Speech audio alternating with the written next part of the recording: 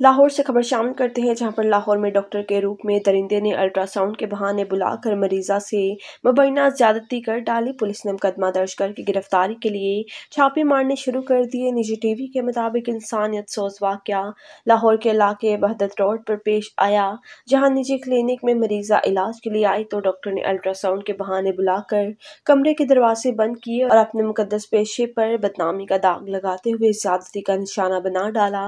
वारदात के बाद मुलजिम डॉक्टर मौका से फरार हो गया। पुलिस ने मुकदमा दर्ज करके तफ्तीश शुरू कर दी, जबकि डॉक्टर को कानून के कुटहरे में लाने के लिए छापे मारने शुरू कर दिए।